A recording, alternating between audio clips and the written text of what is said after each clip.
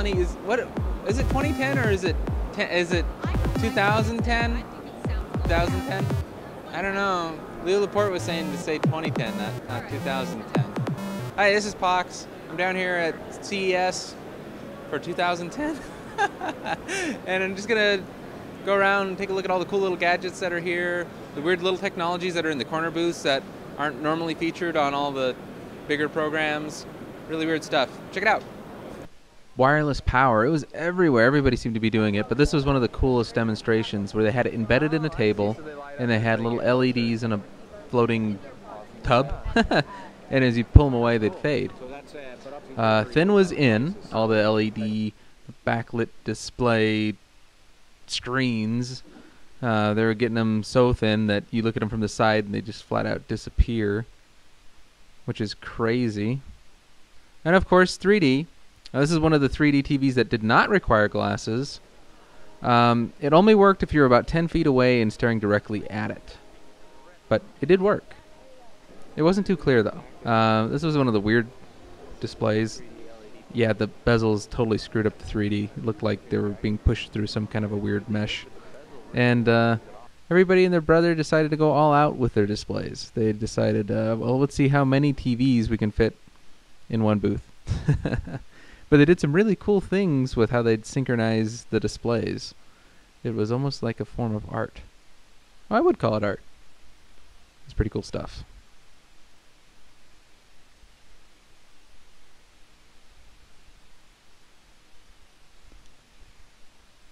Uh, and Samsung, they they they're just crazy. They have this like cavern. It's like you're in Oz or like Wonderland or something. It's dizzying. All the displays and the mirrors. It's so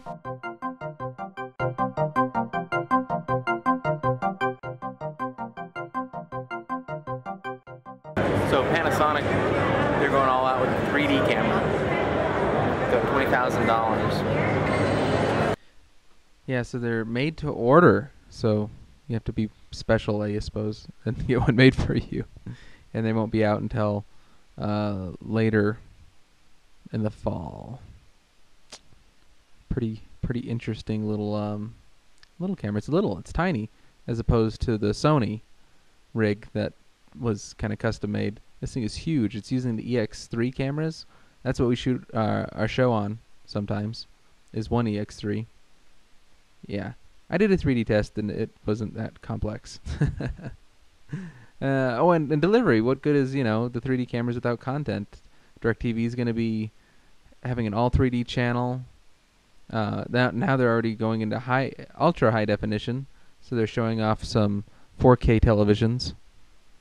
They look pretty sharp on really big screens.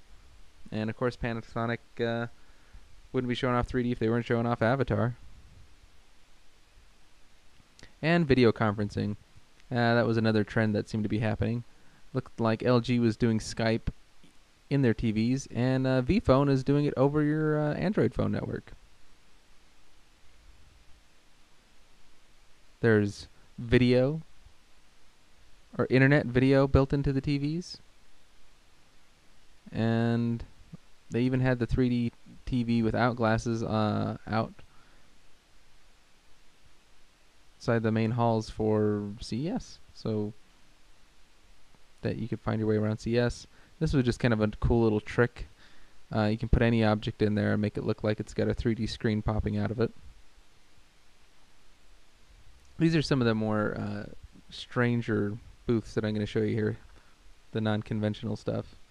And of course, the walking booths. and that, that was a cool technology right there. That's where you can turn a button and it'll make the display darker. So you could have a, a window and then press a button and it'll become like a projector screen. And this MakerBot is just awesome.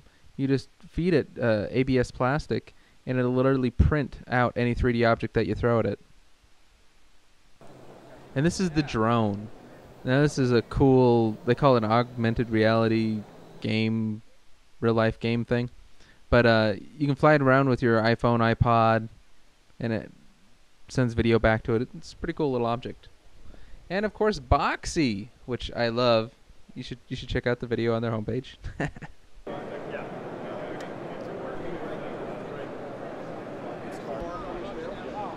Hi everyone, I'm Melody with Boxee, and we are here at the D-Link booth at CES 2010.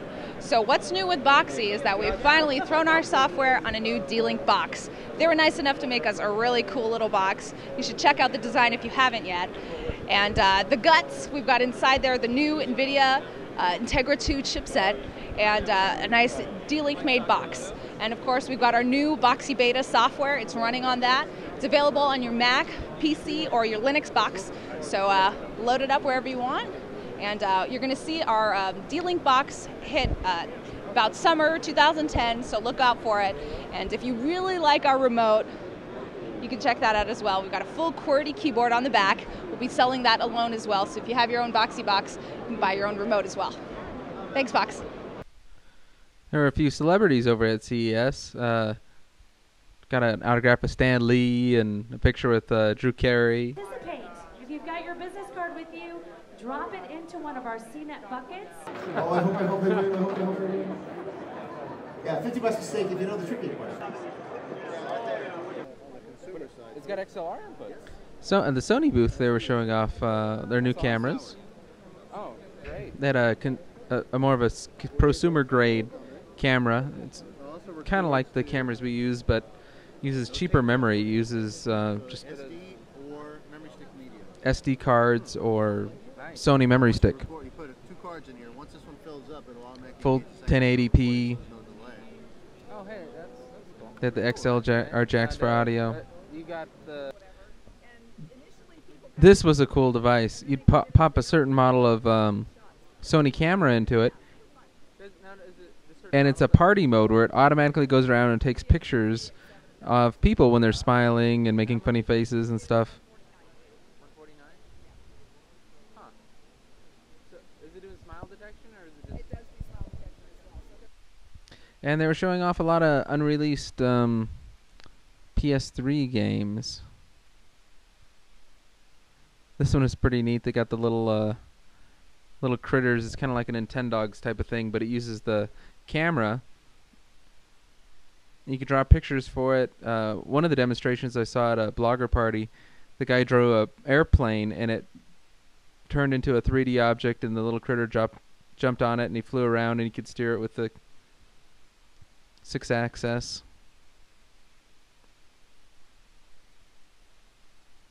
In this case, he drew a little puppet, and it turns into a little marionette.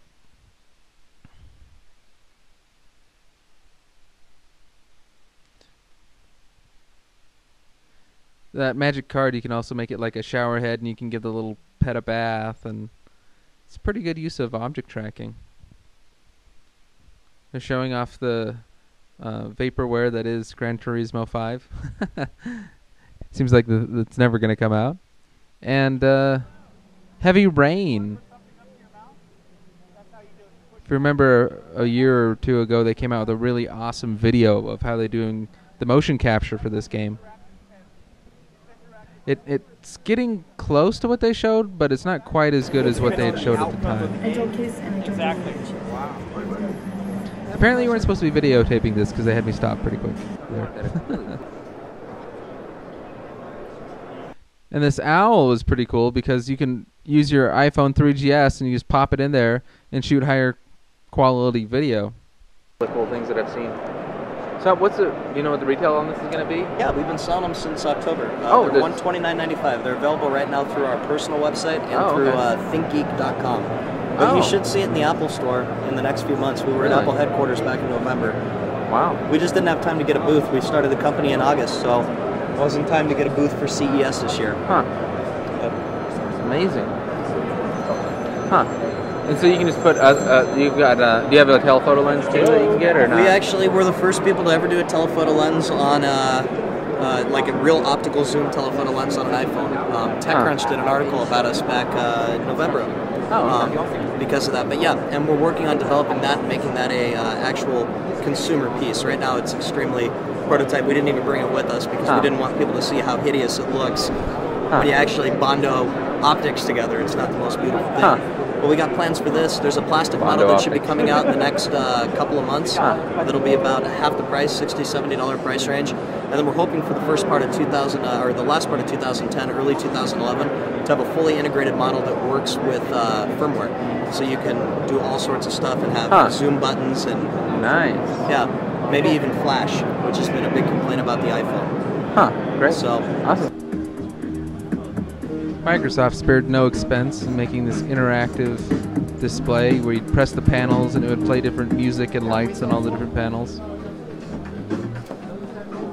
Don't know if it really served any purpose, but it was cool.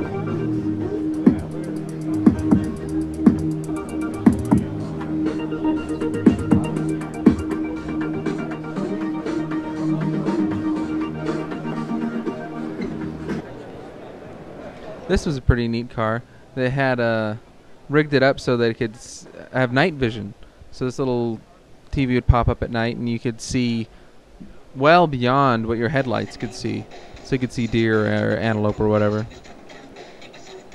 And no CES shows complete without the robots.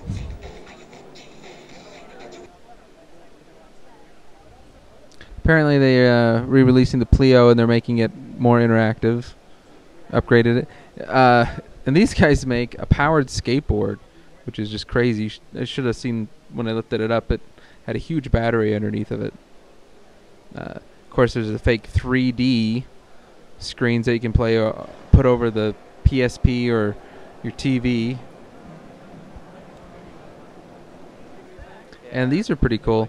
These gloves uh, are basically keyboard replacements, so you can do all your keyboard shortcuts with a glove. And they were saying you go way faster than with a keyboard. And uh, the Chevy Volt. If you haven't heard about this car, it's unique. It's a backwards hybrid. It's an electric car with a gas generator to recharge the battery. So there's no real gas engine drivetrain. It's it's all electric. They're gonna make about eight thousand of these vehicles the end of the year, and then they're talking about like seventy thousand next year. This has been a Too Smart Guys production.